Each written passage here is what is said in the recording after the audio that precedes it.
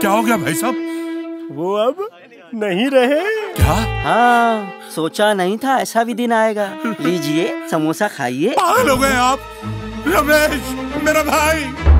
हैं? हैं? अरे यार ले मिठाई खा।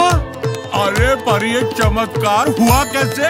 भाई साहब आ गया है खास आयुर्वेदिक औषधियों से बना नया देव चूरन कब्ज एसिडिटी और गैस का महाविनाशक। देव चूरण कब्ज एसिडिटी गैस अब नहीं रहे। भगवान उनकी आत्मा को शांति दे।